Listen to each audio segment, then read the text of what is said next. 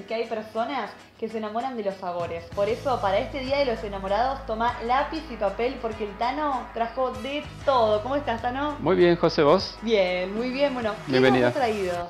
Hoy dos preparaciones tenemos, fecha Sí. especial, una preparación salada, una preparación dulce para agasajar y probar distintos sabores. Algo un poquito afrodisíaco, me Algo un poquito afrodisíaco, sí. Para generar ahí un movimiento de hormonas. Movimiento de hormonas, pero light, tranquilo.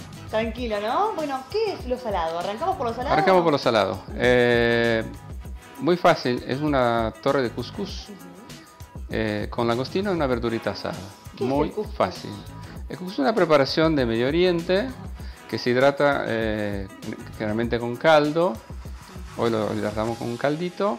Se puede hidratar con agua, eh, jugo de limón, aceite de oliva, sal y pimienta. Muy fácil. Perfecto. Bueno, me decías que entonces, ¿cómo, cómo empieza la preparación de esa torre divina? Bien, eh, se arranca siempre con el couscous. Necesita un tiempito para hidratarse. eh, generalmente una media horita. O sea, hacemos un caldito, un caldito casero. ¿Cómo hiciste el caldito? Bien, caldito rápido, ¿eh? 20 minutos se elabora, cortamos toda la verdurita chiquitita en brunoise, la cocinamos 20 minutos, lo filtramos y ya tenemos el caldito hecho. Caldito listo. Un poquito de sal, Ajá. apenita y Fácil. ¿eh? Súper fácil. Bien, entonces el caldito se le echa al couscous. Al couscous. Se lo deja hidratar un ratito, tapadito. Y aparte cocinamos langostino, rico. muy rico, pueden ser camarones, lo que consigamos. Sí. Y eh, muy importante, adentro del couscous tenemos eh, berenjena y morrón asado. Lo asamos en el horno con dentro de un papel aluminio, eh, sale del horno, le sacamos la piel, automáticamente lo cortamos y ya está hecho. Perfecto. Lo que hice yo lo mariné un poquito eh, en sa- en- con sal, pimienta, aceite de oliva y tomillo. Y después lo único que queda es armar. Lo único que queda es armar después. Bien. En un Muy, recipiente, muy ¿cómo simple. hacemos? Yo le hice en un moldecito, Ajá. puede ser eh, a gusto, digamos. Se puede usar el, el, el couscous, hacer una base, no hace falta moldearlo, digamos, y echarle la verdurita arriba, tabacarlo por capas o ponerlo todo junto. Es, digamos, individual, gusto individual. Bueno, lo decoraste con un poquito de orégano. Sí, le eché una reducción de acheto balsámico con un poquito de perejil en aceite. Muy Perejil. simple. Ujú. Perfecto. ¿Pasamos al postre? Pasamos al Que postre. tiene toda la pinta, toda la Sí. pinta. ¿De qué se trata? ¿Cómo se llama? Es una panna cotta. Panna cotta. Sí, postre típico del Piemonte, ¿eh? parte norte de Italia.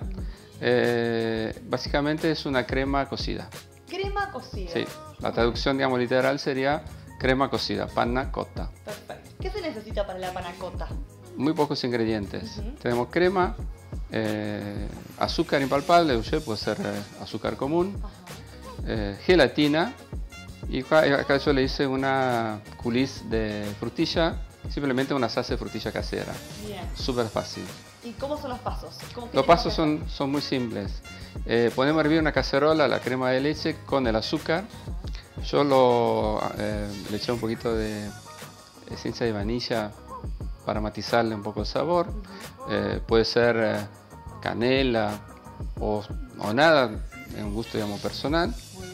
Eh, la gelatina previamente hidratada y eh, dejamos hasta que llegue a ebullición.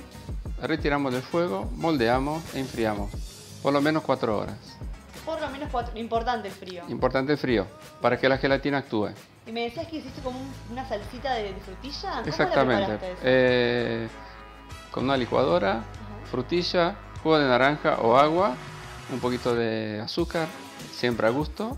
Se mixea todo y yo la llevo un ratito al, al fuego para que reduzca un poquito, queda con la textura más espesa, digamos. Perfecto. Súper fácil. armar. Puede ser una salsa de chocolate, puede ser un caramelo, fruto del bosque.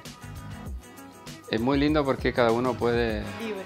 libre, puede elegir. O sea, Súper fácil. Es un sabor, la panacota combina con diferentes sabores. Con diferentes sabores. La verdad me parece tan Muy poca azúcar. que lo que trajiste te has pasado porque exquisito ya, por supuesto que nos vamos a quedar probando todas estas exquisiteces, pero vos tomaste nota, ¿no? Porque este platito, postre, plato principal, liviano, fresco, rico y un poquito afrodisíaco. Un poquito afrodisíaco para la fecha. Y feliz día de los Y enamorados. feliz día para. Muchas gracias. No, al contrario, gracias a ustedes.